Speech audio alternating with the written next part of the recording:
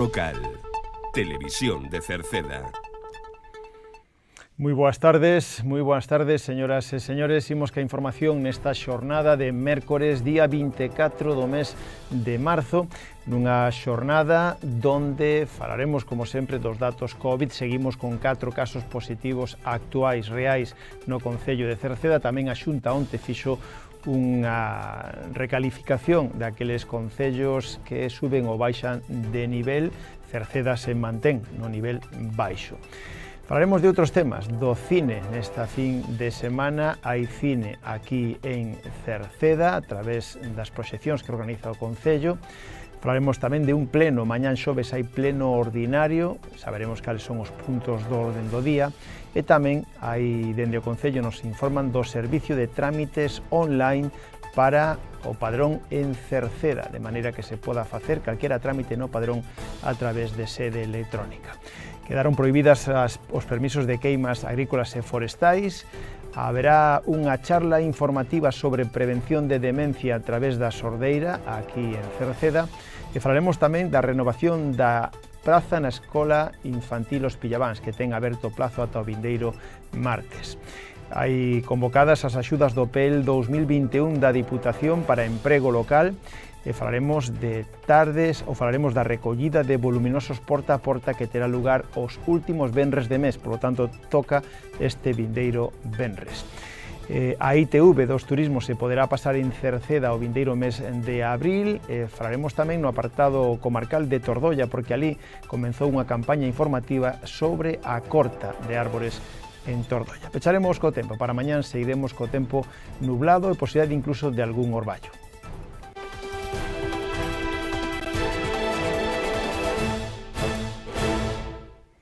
Seguimos en Cerceda con catro positivos reais en actualidade segundo a área sanitaria da Coruña e nos últimos sete días tivemos un positivo.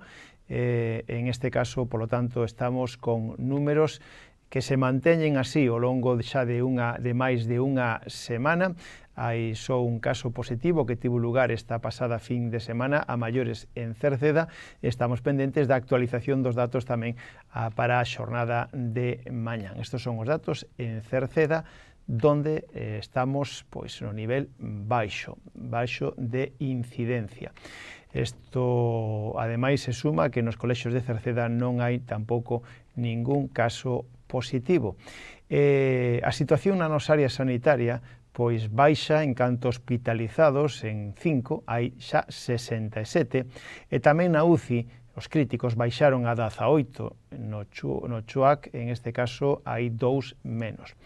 Eso sí, o número de contaxados en Galicia volveu a subir 50 máis que na xornada de onte. Houbo 123 novos contaxios por PCR e nas últimas horas comunicáronse dous falecidos decir que nos datos dos concellos do noso arredor, pois, por exemplo, Tordolla sigue con cero casos na actualidade, Tamén Carral ascendeu, tivo, eh, en este caso, eh, ten a actualidade sete casos reais activos, dous máis que na xornada de onte, ordes, sin embargo, se mantén neses dous, neses tres casos reais, o igual que a Laracha, que se mantén en 17 casos, Carballo se mantén en nove casos reais, e, por exemplo, Arteixo descendeu, a Coruña tamén descendeu, mentras que Culleredo subiu en 4 casos. En, en calquera caso, se mantén máis ou menos a tónica de pouca subida, pouca baixada. Estamos estabilizados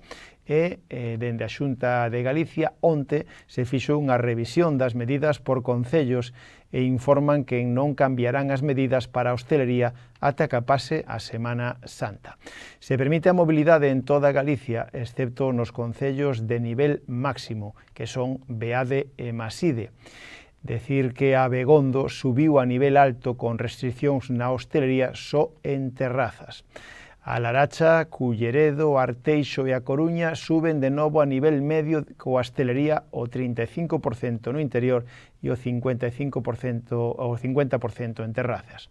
O resto dos concellos de Galicia, entre eles Cerceda, continúan en nivel baixo con mobilidade entre todo eles. Galicia seguirá pechada, Eh, perimetralmente co resto das comunidades autónomas. O toque de queda continúa desde as 10 da noite ás 6 da mañán, aínda que dende o Goberno Central van a intentar que se baixe na Semana Santa ás 8 da tarde e dende agora quedan prohibidas as reunións de non conviventes nos domicilios e, en este caso, con as excepcións de aquelas persoas que eh, vivan soas e podan xuntarse cunha unidade de convivencia ou parexas que tamén vivan en, en eh, fogares diferentes. En canto á hostelería, pois xa saben, mantense aberta ata as 9 da noite, dentro, no interior, ao estar no nivel baixo aquí en Cerceda pode estar nun 50%, no exterior nun 75% e eh, esas son as medidas, insistimos, que se van revisando especialmente para saber o índice de incidencia de cada concello para saber se si baixa ou suben de eh, nivel. Eh, lembren datos tamén de vacinación, estáse vacinando a xente maior de 80 anos, aquí no noso Concello vai pouco a pouco e eh, tamén coa vacina de Pfeiffer, e tamén a AstraZeneca volve a poñerse, pero neste caso de momento se vai a poñer aqueles colectivos que estaban pendentes, como son os servicios públicos de policía, mestres, etcétera. Eh, cambiamos de tema. Falámoslles agora de que eh, o Concello de Cerceda organiza para esta fin de semana cine.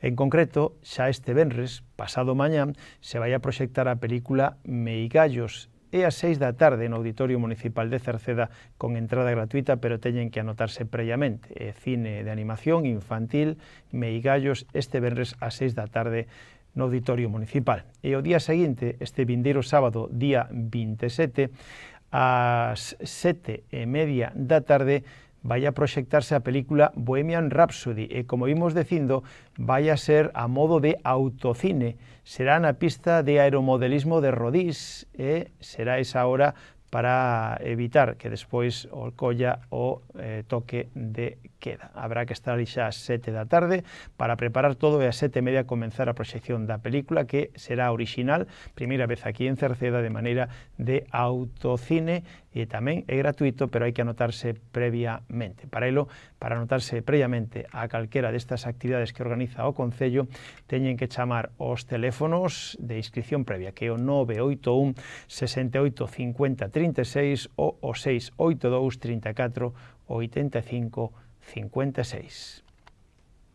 Mañán xoves haberá pleno ordinario en Cerceda corresponde ao pleno ordinario, o último xoves de mes impar, e será este xoves, día 25, a partir das 9 da noite no Salón de Plenos da Casa do Concello xa con presencia dos concelleiros cas medidas de distanciamento e seguridade. Eh, en este caso será retransmitido en directo, poderán seguirlo dende os seus fogares pola radio e pola televisión de Cerceda eh, incluso tamén por internet, er, rtvcerceda.com. Os puntos do orden do día será a toma de coñecemento da renuncia ao cargo de Concelleira de dona Luz María Bello Vázquez do Partido Popular e logo se tomarán os seguintes acordos. A aprobación da proposta dictaminada da aprobación da compatibilidade do empregado municipal don Rafael García Pena para o exercicio da actividade privada. O segundo será a aprobación da proposta dictaminada de denominar Rúa Eduardo Canedo Lamas a unha rúa na avenida, entre a Avenida da Paz e a Plaza do Campo da Feira de A Silva. O terceiro punto será a aprobación dictaminada da aprobación inicial da ordenanza fiscal pola prestación do servicio de axuda no fogar. O seguinte punto será o regulamento do servicio de axuda no fogar e o quinto punto será a aprobación inicial da ordenanza reguladora das tarxetas de estacionamento. Haberá tamén mocións, rogos e preguntas, así como dación de conta dos decretos da Alcaldía. Este pleno será mañán, pleno ordinario, a partir das 9 da noite no Salón de Plenos do Concello e poderán seguilo, insistimos, a través da radio e da televisión municipal e a través de internet en rtvcerceda.com. Falámoslles agora de o servicio de trámites online do Padrón municipal en Cerceda. O Concello de Cerceda informa a todos os veciños da posibilidade de facer calquera trámite no padrón de habitantes municipal as 24 horas do día e os, dos, os 365 días do ano a través da sede electrónica. Ali Poden tramitar certificados de empadronamento individual, colectivos, volantes de empadronamento, solicitudes de alta ou modificacións, etc. etc. Tan só é preciso ter conexión a internet, identificarse a través do sistema clave DNI, certificado electrónico ou clave PIN e dirixirse á, á páxina web sede.cerceda.com sede.cerceda.es, sede.cerceda.es ou a través da páxina web do Concello de Cerceda, indo ao apartado de sede electrónica. Por outra parte, eh, decirlle que dende esta pasada fin de semana quedaron prohibidas as, os permisos de queimas, tanto agrícolas como forestais. Non só xa non se dan eses permisos de queima, sino que quedaron tamén prohibidas aqueles que se deran con anterioridade a, a fin de semana pasado eh, agora quedaremos pendente da, de, que, de cando nos informen de hasta novo aviso quedaron, por tanto, suspendidos os permisos de queimas, tanto forestais como agrícolas privados. O Concello de Cerceda organiza unha interesante charla informativa sobre a prevención da demencia co objetivo de informar sobre a relación entre a pérdida de audición asociada á idade e o deterioro cognitivo ca presentación de un programa de estimulación como resposta que estará impartida por ACOPROS, que é a Asociación de Colaboración e Promoción do Xordo. Insistimos que será unha charla informativa da que mañán saberemos xa cando será, como e quen terá ou como poden facer para participar. O vindeiro martes día 30 remata o plazo para renovar a plaza na Escola Infantil Os Pillabáns de Cerceda. Hai que presentar a solicitude no rexistro do Concello de Cerceda e eh, eh, tamén no caso de que mudaran as circunstancias socioeconómicas, é dicir, que cambiaran a familia numerosa, que houvese unha separación ou divorcio ou unha variación dos ingresos familiares, hai que modificalo a través dos servicios sociais do Concello de Cerceda e hai que pedir cita previa ou consultalo a través do teléfono 981 68 60 68. Lembrar que a segunda quincena do mes de abril abrirá o plazo para novas incorporacións. De aquí informaremos cando se acheguen xa esas datas. A Diputación Provincial ten aberto ata o próximo día 15 de abril O plazo para solicitar as axudas do Plan de Emprego Local do PEL 2021 ten catro líneas de axudas. A primeira é o PEL Emprende Investimento, eh, decir que se poden obter ata 17.500 euros en axudas ou investimento para maquinaria, mobiliario, equipos para procesos de información, aplicacións informáticas, etc. Vai destinado a empresas da provincia con menos de 5 anos de actividade e que fagan investimentos realizados ao longo de, tedo, de todo este ano 2021. A segunda línea é o PEL emprende autónomos que sufraga as cuotas de todo o ano da Seguridade Social. As axudas poden chegar ata os 2.400 euros. Están destinados a autónomos da provincia con menos de 5 anos de actividade que non reciban ningunha axuda para sufragar as cuotas sociais. Outra liña é o PEL PEMES Creación e Ampliación do Cadro de Persoal.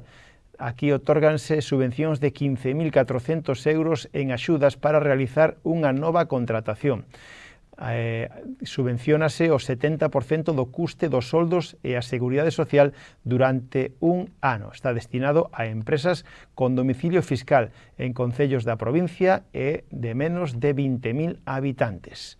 E a última liña é o PEL PEMES mantenimento do cadro de persoal, donde os se otorgan ata 11.000 euros de axudas para manter a contratación indefinida realizada no ano pasado. Aquí a subvención pode chegar ao 50% do custe do soldo e a seguridade social durante o segundo ano da contratación. Vai destinado a empresas beneficiarias do PEL PEMES creación e ampliación do ano pasado. A presentación da solicitude só se pode facer a través da plataforma Subtel. Esta fin, ou mellor dito, cambiando de tema, agora falámoslles da recollida de residuos voluminosos porta a porta, porque o próximo Benres día 26, corresponde último venres de mes e, polo tanto, o Concello de Cerceda presta o servizo de recollida de residuos voluminosos que non se poden depositar nos colectores da rúa. A recollida realizarase, como xa saben, este vindeiro venres día 26 e hai que chamar previamente para decir onde van a depositar eses residuos voluminosos para que a empresa concesionaria poda recollelos. Teléfonos os que teñen que chamar é o 639 200 204 ou o 616 167 131. Aí teñen que chamar para decir onde van a deixar eses residuos voluminosos e eh, lembren que hai que depositalos o día anterior ou como moi tarde a 7 da mañán do mismo día, quedando prohibido depositalos días antes a eses permitidos. Eh, lembren que si alguén quere, tamén pode depositar eses residuos voluminosos directamente no punto limpo de Cerceda, que se atopa no centro no Acevedo, na parte sur do polígono industrial. O horario do punto limpo de Cerceda é os martes e os xoves polas tardes de 3 a 7 e os sábados pola mañán de 9 e media a 1 e media. Cambiando de tema, se si vostede está pendente de pasarlle a ITV do seu turismo, que sepa que no vindeiro mes de abril, os días 29 e 30 de abril e o día 3 de maio, se pode pasar a ITV de turismos de vehículos lixeiros aquí en Cerceda. Volverá a ser nos aparcamentos superiores do parque acuático e xa poden ir reservando cita previa a través da páxina web sicitv.com no apartado de cita previa ou, sinón, no teléfono 902 30 9000.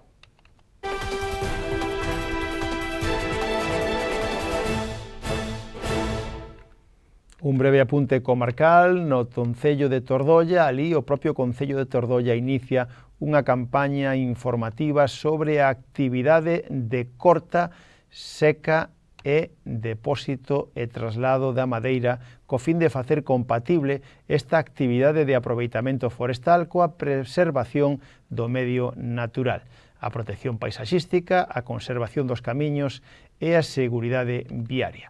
As empresas madeireiras están obrigadas a presentar por escrito con 15 días hábiles de antelación ao inicio dos traballos unha comunicación previa xunto con outra documentación que aportarán información sobre os terreos afectados, camiños polos que van a transitar, lugares de depósito da madeira, etc.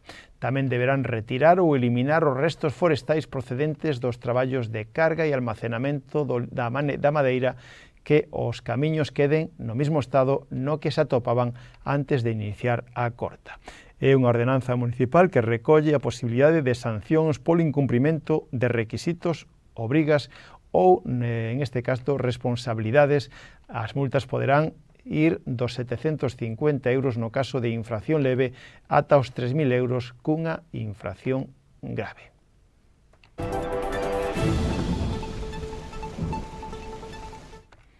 Rematamos co tempo. Durante a xornada de mañán, especialmente a primeiras horas de mañán xoves, unha fronte fría moi pouco activa vai a chegar a Galicia deixando un aumento de nubes baixas no terzo norte con posibilidade de algún orballo illado e ocasional, mentras que no centro e no sur os ceos van a permanecer pouco anubrados ou despexados. As temperaturas non experimentarán cambios significativos e os ventos soprarán frouxos de dirección variable e pola mañán eh, eh se eso será pola mañán eh, e pola tarde xa rolarán a componente oeste. Pois co tempo rematamos o informativo nesta xornada de mércores, mañán xoves voltamos, reciban os saúdos na radio. Está Tomás Ramos na realización, na edición e na montaxe televisiva, Manuel Iris na redacción e quen lles falou Manuel Ángel Villa. Disfruten da xornada, moi boas tardes, adeus.